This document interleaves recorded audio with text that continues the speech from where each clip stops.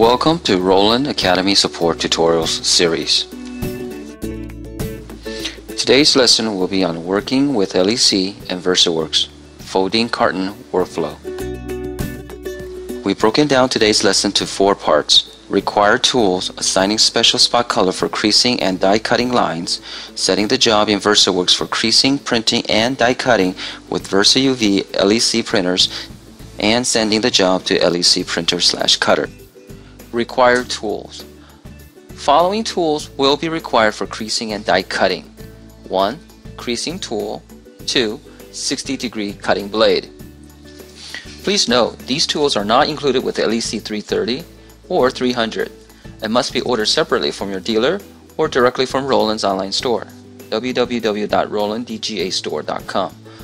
LEC 540, however, includes the 60 degree blade and a different creasing tool. And here are the pictures of the tools.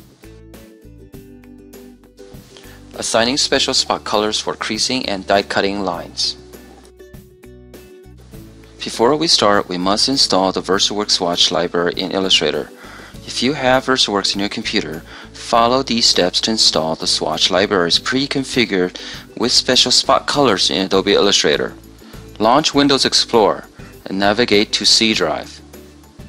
Then Program Files, Roland, VersaWorks folder, then Swatch folder, then Illustrator folder. Select all files in this folder, right click with the mouse, select copy. Now navigate to C drive, Program Files, Adobe folder, Adobe Illustrator CS5 folder,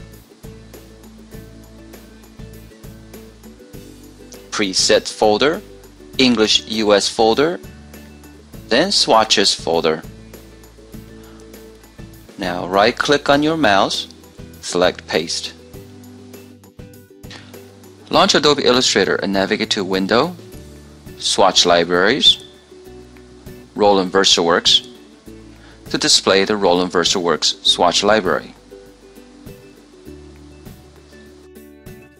If you do not have VersaWorks, Follow these steps to create the swatches.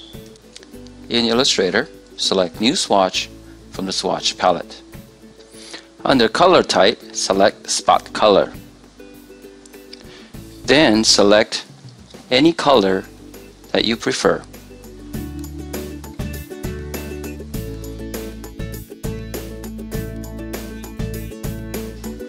Then under Swatch Name, type Cut Contour. Notice how the letter C's are capitalized. Swatch color names are case sensitive. Please type the names exactly as shown. Click OK and notice how you just created a new cut contour spot color. Please follow the same procedure to create the perf cut contour spot color.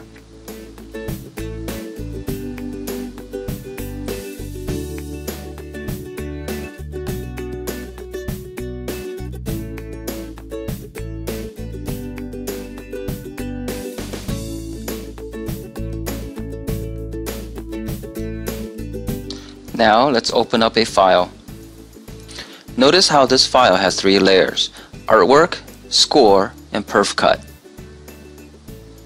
We strongly recommend having crease and die line objects organized in distinct layers for easier manipulations and visualization. Depending on the printing features that are used, some objects will have to be isolated and saved in a separate file. Having them organized in distinct layers per special feature will greatly facilitate this process. Crease lines will be always required to be saved as a separate file, as the cutting tool must be replaced on the printer. Now we apply the cut contour and perf cut contour swatch to the stroke of crease lines and die lines respectively. Please note, the crease and die lines must be vector objects and placed on top of any other object. Perf cut contour alternates the cutting pressure between strong and normal. The strong pressure should be carefully calibrated to cut through the substrate, while leaving small tabs that are cut with normal pressure, preventing the finished object from falling from the substrate. Cut contours is used for creasing as this special color controls the movement of the cutter while applying a constant pressure. Now we will save the file by each layer. We must save the files in three distinct layers, with one layer per file. In order to do this, we must make the other layers invisible in Illustrator. So in this case, artwork will be saved as a CMYK data. Then repeat the process for the, the other two layers. Notice how these three files are saved. The CMYK data, crease cut data, and perf cut data. Now run your Roland VersaWorks and we're going to add the files. Just drag and drop these files. We're going to first add the crease cut, then the CMYK, and finally the perf cut data. Now let's load the media to the LEC 330 printer. Load the media carefully. Lower the pinch roller.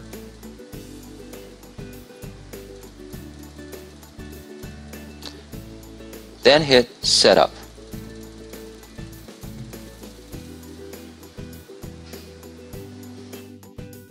For creasing, we must replace the cutter blade with the creasing tool. To do this, click on left arrow button to retrieve the cutter carriage. Carefully remove the blade holder from the cutter carriage unit.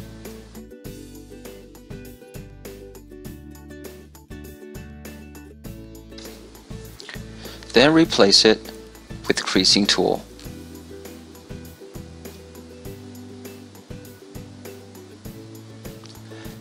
Tighten the brass thumb screw. Then hit Setup on the printer's control panel. Now we're ready to release the job from VersaWorks. In order to not cause damage to the printed surface, the job should be processed in following order. Creasing job, color data job, and die cut job. Select the crease job and navigate to Job Settings to open the Job Settings window. You can also double click on the job in the queue. Under Layout window, click on Get Media Width, set the scaling or resize the job if necessary, set the number of copies, set any other layout options such as centering, spacing, orientation if necessary. Next, set the following in a Cut Controls window. Under Operation Mode, select Cut Only. Check the option Return to Origin after cut. Check the option enable advanced settings and set the following parameters.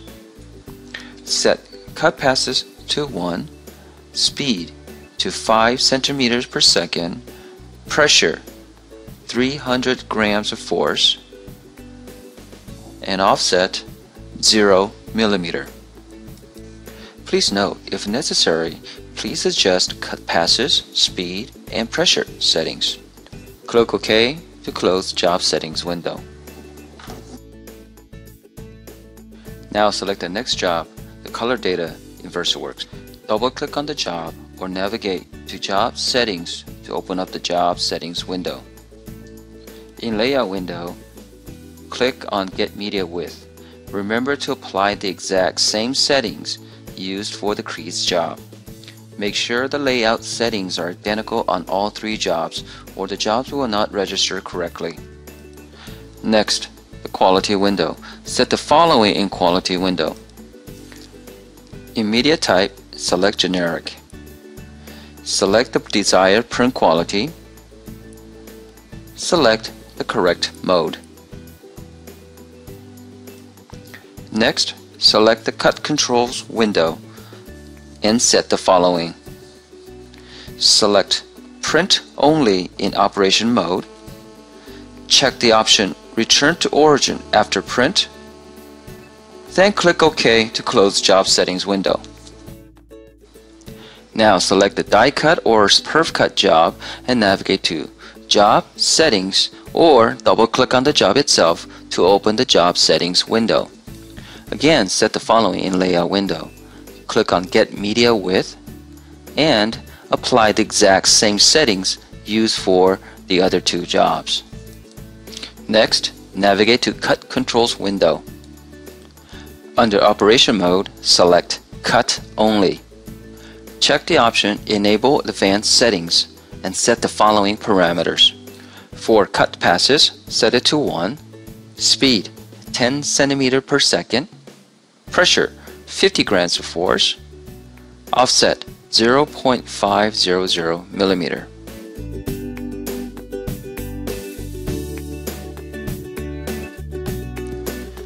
As for the perforated cut controls, set the following parameters.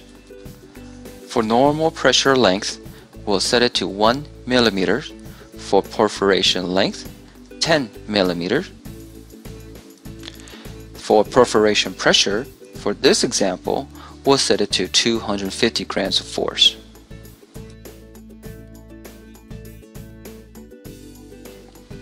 Please note, if necessary, please do change the normal pressure length and perforation length. To determine the ideal pressure for perf cut pressure, please consult LEC User's Manual on section 5-6. Then click OK to close out the job settings window. Now we're ready to release the job. We will release the job one job at a time. Select Crease Job, then click on Rip and Print. After the job has been released, LEC will perform the crease cut. And afterwards, it will return to the origin. Next, release the CMYK or the color job.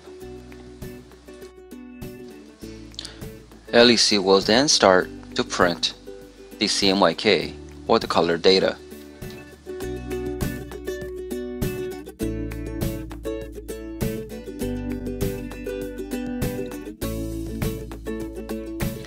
After the print job, it will then return back to the origin again.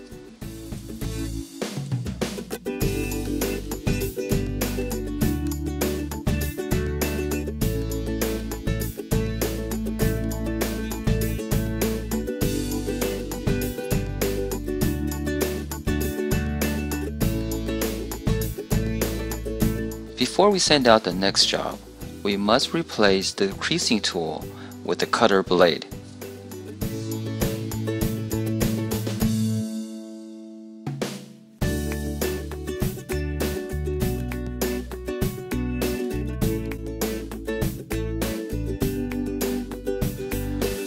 Lastly, we will release our die cut or perf cut job.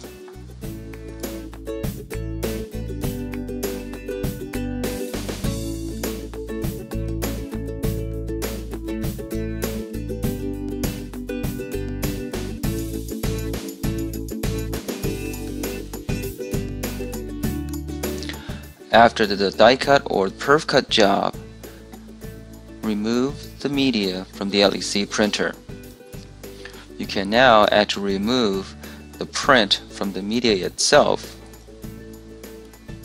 and fold along the crease line.